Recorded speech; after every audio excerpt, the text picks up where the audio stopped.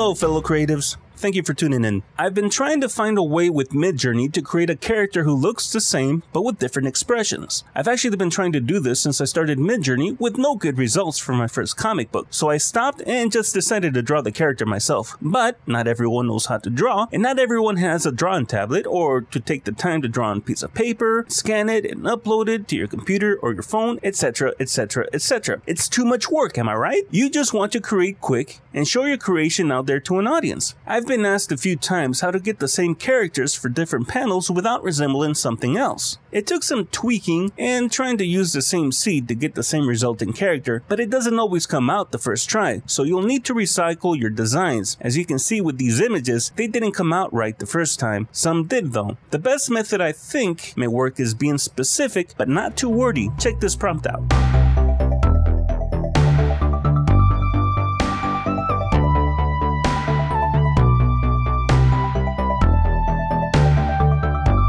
How did I get this character to look similar and have many types of emotions? Well, you just simply type a character design with different types of emotions in different panels. That's it. I found out that not incorporating ending prompts like dash dash test or dash dash quality, etc. did not render too good of results. I just kept it simple, but it's a learning curve and you can modify it the way you want. You can also use an ending prompt called dash dash same seed or dash dash seed with whatever number you like. Same seed just means that you'll try to render the same design for each of your panels. It's going to be messy at first, but once you get it close, you'll be able to keep rendering the same character. Now, on some prompts, I did put dash dash quality dash dash test to see what I can get, but I found that keeping it simple gave you a better result. Also, make sure you have an idea of how your character should look like and be specific in your prompts, but again, not too wordy. For this character, all I typed was the depiction of the same character in different panels with curly hair, chubby cheeks, and round head showing different types of emotions. Then from there, all I did was upscale the ones that I liked, and then when they finished upscaling, all I had to do was remaster it, and then I'll get a finished product the way that I liked. And from there, I got these similar characters. If you want a male or a female character, make sure you type female character or male character or whatever adjective that you want to add. Then describe their look and make sure you type different emotions to try to get your character to make different facial expressions. But once you upscale the image and remaster, you can then keep making variations by clicking the variation button or the recycle to make more variations. So let me know if this helped out. And like I've mentioned, you'll need to keep recycling. And if that didn't work,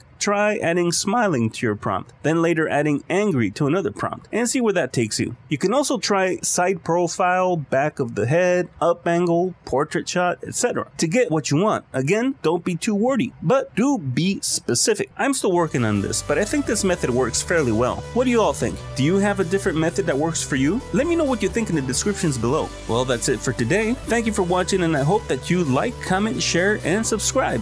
This helps my channel grow and get seen by a larger audience. I'll let you get down to creating, huh? This is Art signing off, and don't forget, muse it or lose it.